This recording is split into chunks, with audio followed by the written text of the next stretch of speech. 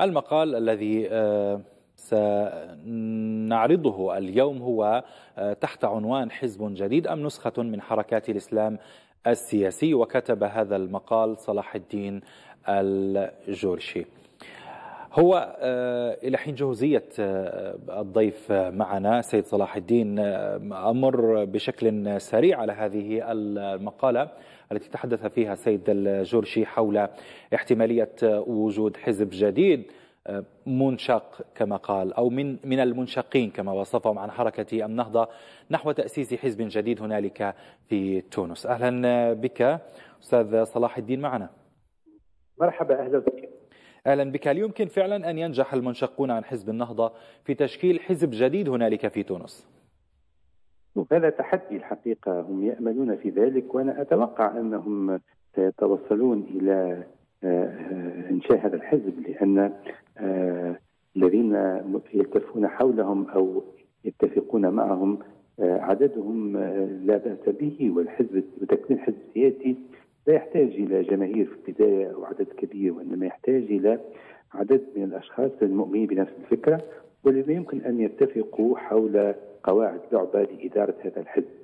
لكن المشكلة فقط هي تتعلق أساسا بطبيعة هذا الحزب وبمدى قدرته على تحقيق التميز أو التمايز وثانيا بالاستمرارية. وهذا بطبيعة الحال سيشكل تحديا مهما لهذا الحزب الجديد نظرا لبقاء حركة النهضة الرقم الأول والأساسي في ساحة ما يسمى بالإسلام السياسي. نعم، لكن في ماذا أستاذ صلاح في ماذا سيختلف هذا الحزب الوليد عن حركة النهضة الأم؟ شوف يعني إلى حد الآن هذه المجموعة استطاعت أن تثبت أنها مختلفة في إدارة الحوار والتعايش داخل حركة النهضة وبالتالي خروجهم من الحركة أكد بوضوح أن الحركة تعاني من أزمة داخلية حول محاور أساسية وفي مقدمتها إدارة الشأن السياسي والتنظيمي داخل الحركة. لكن بماذا سيتميزون في المرحلة القادمة؟ هذا هو السؤال اللي إلى حد الآن إجاباتهم تبقى غامضة ومحدودة. محدودة يعني في مستوى الإقناع لأن مثلا هم يطلقون على هذا الحزب بأنه حزب محافظ. وإذا قلنا حزب محافظ الفكرة الموجودة عن حول هذا المصطلح تجعل منهم أن قضية الهوية ستكون قضية مركزية وأنهم سيدافعون عن الهوية الشعب التونسي مقابل ماذا؟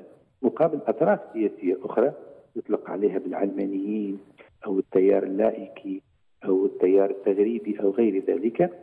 وبالتالي وكأنهم معناها سيواصلون في نفس المعارك الكبرى التي خاضتها حركة الاتجاه الإسلامي والتي بعد ذلك أصبحت حركة النهضة والتي أوقعت هذه الحركة وهي المعارك التي أوقعت هذه الحركة في خندق ضيق في مسار ضيق جعل الحركة تدخل في صراعات مع طيف واسع من النخب التونسيين فهل أن فكرة المحافظة هي فكرة جديدة؟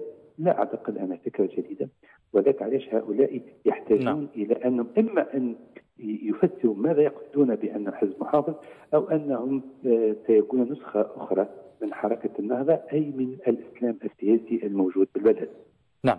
لكن أمام هذه النقطة أيضا يطرأ سؤال آخر أستاذ صلاح. يعني كيف تقرأ أساسا الفكرة التي ينطلق من خلالها المنشقون عن حزب أو عن حركة النهضة؟ هم طبعا ينطلقون تحت وطأة حكر القيادة من قبل أشخاص أو أسماء بعينها داخل الحركة على مدى السنين الماضية. كيف ترى منطقية هذا الطرح أساسا؟ نعم. هو شوف يعني تاريخ حركة النهضة والاتجاه الإسلامي في تونس كانت في الغالب تحدث صراعات حول مسألة القيادة. ومع هذه الصراعات حول مسألة القيادة هي صراعات تنظيمية بالطابع تنظيمي. منشأها الشخصية القوية لراشد الغنوشي الذي نجح في احتكار وظيفة القيادة.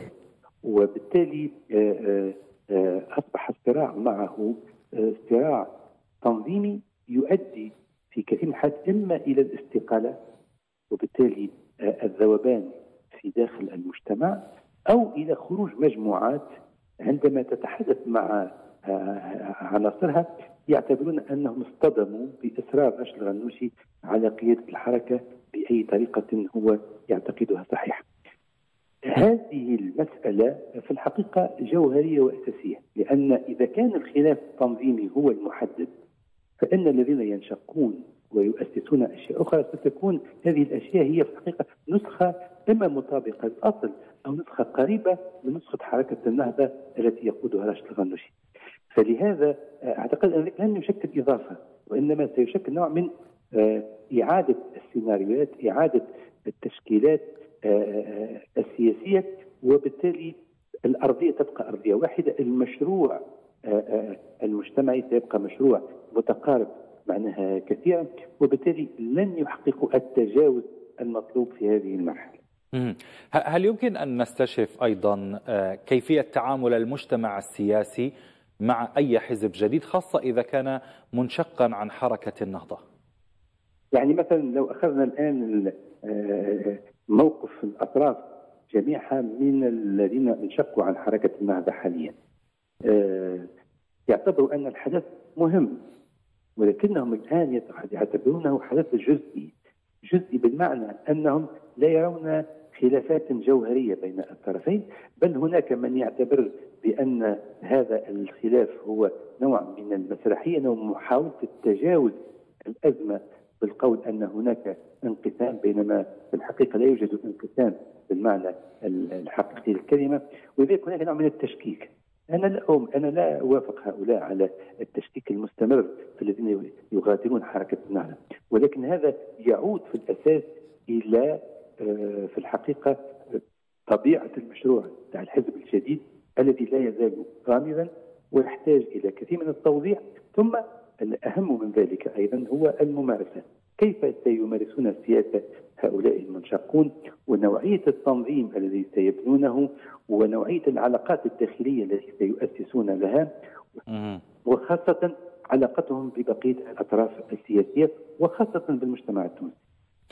أشكرك جزيلا على حضورك معنا عبر سكايب سيد أو عبر الهاتف عفوا سيد صلاح الدين الجورشي. شكرا جزيلا لك.